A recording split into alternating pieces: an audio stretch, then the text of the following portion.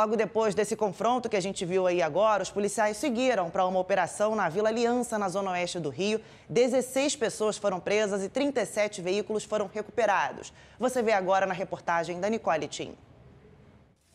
A operação mirava criminosos que roubavam cargas de veículos. Mas a polícia ainda encontrou dois macacos prego com um dos alvos, que também estava com um carro roubado. Tá adquiriu ele no mercado negro. Assim que chegaram na região, os policiais se depararam com barricadas nas ruas. Até mesmo pilhas de asfalto foram usadas pelos criminosos. Durante as buscas, os agentes localizaram inclusive carros de luxo roubados. Segundo a polícia, a Vila Aliança se tornou uma das bases operacionais da facção criminosa Terceiro Comando Puro, o TCP.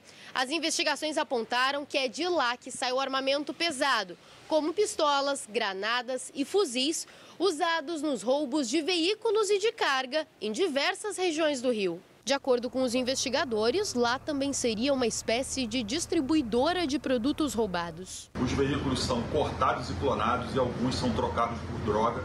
E as cargas são é, transbordadas para o interior dessa localidade e também são revendidas para comerciantes da localidade e também para outros receptadores. A polícia identificou ainda que o tráfico de drogas da região fazia blitzes para identificar possíveis policiais e bandidos de facções criminosas. Os crimes já resultaram em seis baleados e três motoristas.